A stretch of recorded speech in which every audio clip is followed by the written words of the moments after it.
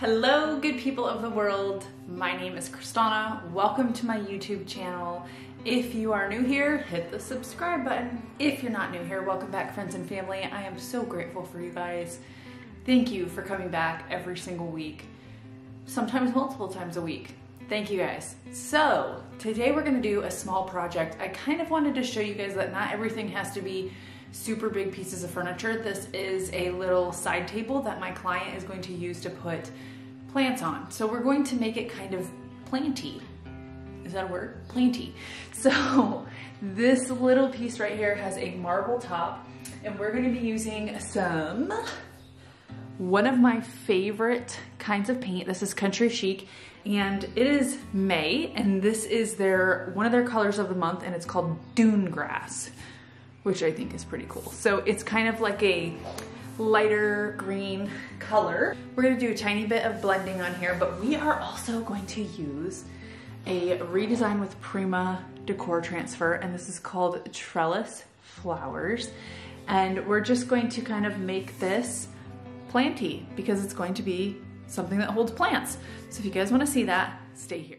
I wanted to take this opportunity while I was cleaning this piece to show you what to look for and know when you need to use a blocking primer on a piece of furniture.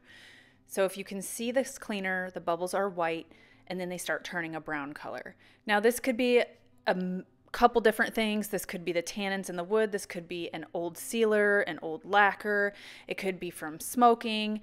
It could be just dirty. But the thing is, is that I know when this these bubbles start turning colors, this piece is going to give me problems. I would have problems with bleed through if I'm using a lighter color. And you can see right here, I'm spraying even more and you can see when it starts dripping, it's just dirty from whatever it is in there, whether it's a failing finish, tannins, dirty, whatever it may be. And so I want to take the proper steps to make sure that I do not have problems with bleed through later on. So I'm going to clean this piece really well. I'm going to clean it a couple times and then I'm going to go over it with clean water and a clean rag. Typically I have gloves on when I'm doing this. I am using the GREENEZ cleaner on this right now, but usually I have gloves on. I just didn't at this point, so wear gloves. Now, what I'm going to do is go over this with clean water and a clean rag, and you're going to see that the water is not super dirty, but still it is a little bit tinted. So I'm going to go over it with Pure Eco's gray blocking primer and I'm going to use a coat of this on here before I use the paint that we're going to use. So we will be using Country Chic's paint and it is an all-in-one paint, but it's suggested that if it's a piece that you think is going to have problems with bleed through, put an additional primer down. It's going to just save you a time and a headache. So if you do the proper prep, it's going to really help. So we're going to put a layer of this down and then we are going to paint with our Country Chic after this has sat and dried overnight.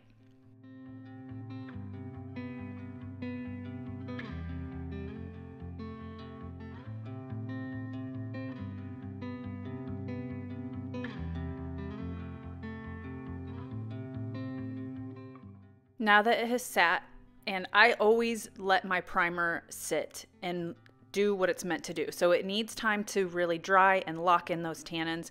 So I do paint it and let it sit overnight. Or if I do it in the morning, I let it sit for, you know, all day until I do it later on in the day. So we are going to put two coats of Dune Grass by Country Chic on this piece of furniture. This is going to be a pretty simple makeover, but I did want to show you guys the proper prep and I want to show you how to kind of do a little bit of blending and I did want to go in depth about how to put a redesign with Prima's transfer on here with multiple levels and you'll see what I'm talking about here in a second. Now, I'm going to take a mister bottle and I'm going to mist the legs and anywhere that I want to do this on and I'm going to take cheesecake from Country Chic, and we're just gonna add a little bit of highlighting, and I'm just going to lightly put that on there. Then I'm gonna take a clean dry neutral brush and I'm gonna just kind of go in in different directions and I'm going to blend those into each other. This isn't going to be something crazy. This is going to just be a very subtle look, almost like a whitewashed look on this piece of furniture. This is something easy that you can do and it's going to add just a little bit of dimension and character to this piece. So again, I'm going in with cheesecake and I'm just putting that at the edge. I'm gonna take that clean dry neutral brush and I'm gonna go in different directions and kind of spread it out and blend it in.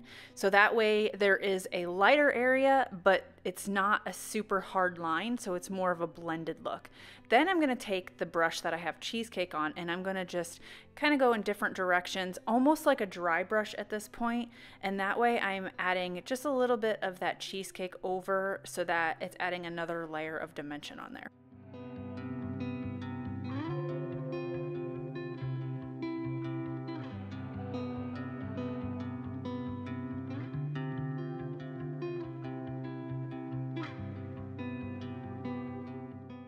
I'm going to distress this piece with my 3x4 electric ray by Surf Prep. So this is a half inch super fine pad. And what I like to do when I distress is I like to put it in natural places where there's going to be some natural wear and I like to lightly go over it so it does pull away a little bit of the paint down to the wood but nothing super super crazy and this just gives it a worn look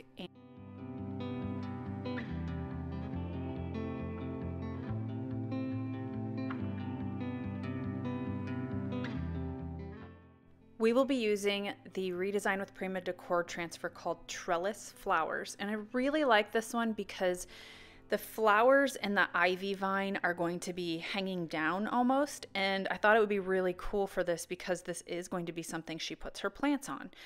So the first thing I do is unroll it and I cut out the areas that, or the pieces of the design that I think I'm going to use on here.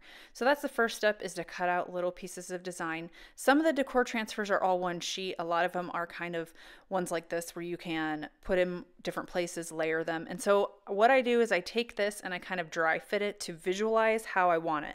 Now this is gonna go around that 90 degree angle and it's going to be on multi levels. So I'm going to cut this, I'm going to look at it, see if it's exactly where I want it, and then I'm going to peel that white protective backing off and I'm going to gently place it on the piece of furniture.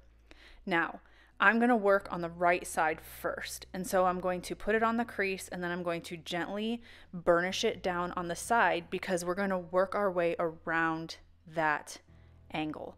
And we're gonna work our way on these different levels. So I'm gonna take the burnishing stick that it comes with and I'm gonna burnish that side very carefully. Make sure you're not touching the other side because the other side is sticky and the sticky is meant to stick on the piece of furniture, not your hands. So don't touch the other side of that plastic.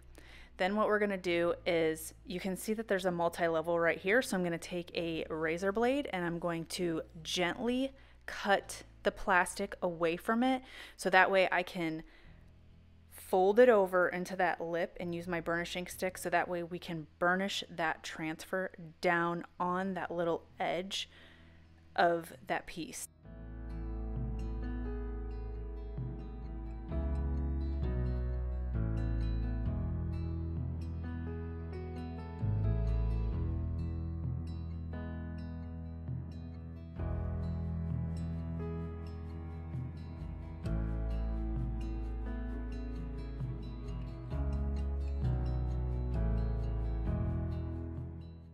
I will continue burnishing everything down and then what I'm going to do is I'm going to fold over the transfer on that 90 degree angle to the front. I'm going to start burnishing it down right there so that way we can get it to stick to the piece on the front. So when we start releasing it on the side, it will still be connected to the piece of furniture so it's not going to fall off or do something crazy. So we're going to burnish it down. Now there is a indent right there, so I'm going to turn the burnishing stick to the side and I'm going to burnish the transfer into that as well. And you're going to see that once we move it to the front. But I'm also going to take this razor blade and I'm going to cut any excess plastic off that could be getting in my way. So that way it's easier for me to work with this piece. But we're going to burnish that front down and then we're going to move back over to the side and I'm going to start pulling that back. So I'm going to burnish it and start pulling that side back so that way we can start getting rid of some of that excess plastic and really get this transfer on this piece.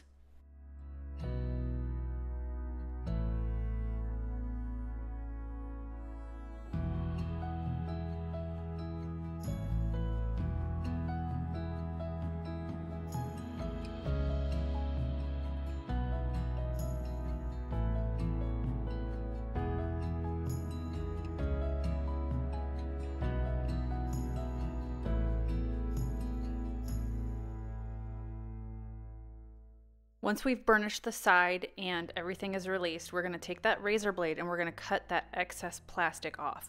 Now, make sure that you have burnished that front because you want that to be adhered to the piece of furniture. Because if you don't adhere that and then you try to cut the side off, it's going to fall off. The whole transfer is going to fall off, and you don't want that to happen.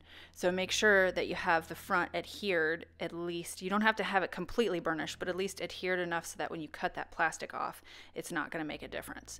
Then you're going to burnish the front and you're going to just slowly put that on there. And like I said, there's this little divot in the center right there. That's why we turn that burnishing stick to the side.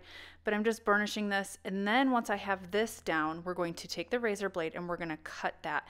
Go right to the edge and cut it. And then what you're going to do is line it up on that next level down so that when you look at it from the front, it looks exactly the same and it doesn't look like you have it on different levels.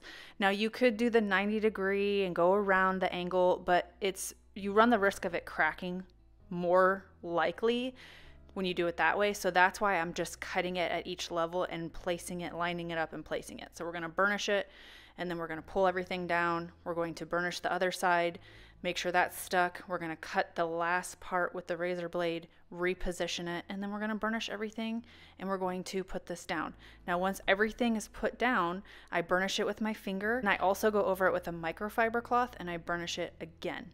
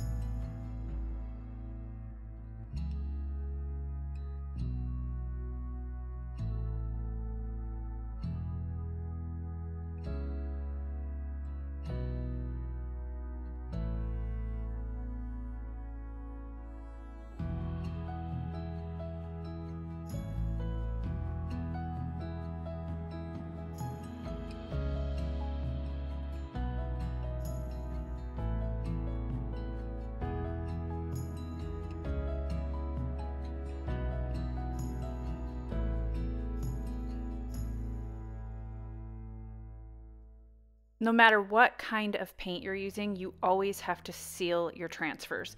So we're going to use Country Chic's Tough Coat, which is something that they generally only use in the warmer months. So when it is cold, they do not ship it because it runs the risk of freezing. So if you guys want to try it out, make sure you try it out now while it's warm. But we are going to take that tough coat and we're going to go over the entire piece. One, we're going to seal the transfers, and this is a custom. So even though Country Chic is an all in one and it does not require a sealer because it has a built-in sealer. I always put an extra sealer on there when it's custom work just for that extra added protection. I am also going to take white wax by Country Chic and put it in the corners and cracks and crevices just to add a little bit of character on this.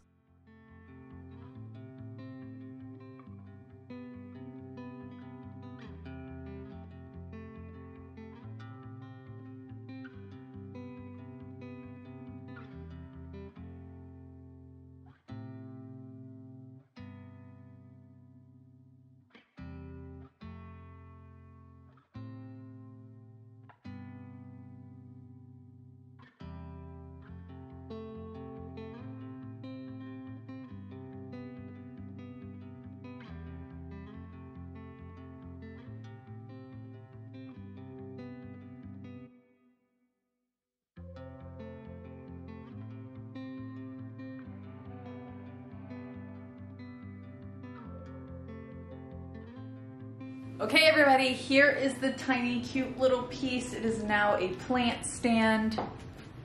Or, well, okay, so my client is going to use it as a plant stand now. I hope you guys enjoyed that video. It's very simple, how to add just a little bit of some highlighting, and then also how to apply a redesign of Prima transfer on multi-level surfaces and around these 90 degree angles. I hope you guys enjoyed that. Have an amazing, amazing week. And until next time, happy creating. Bye, guys. Hey, darling, can I tell you what's been on my mind? Sick and tired of the nine to five in the city. Hey, darling, we could get out of town, see the beautiful world around, wanna see it now.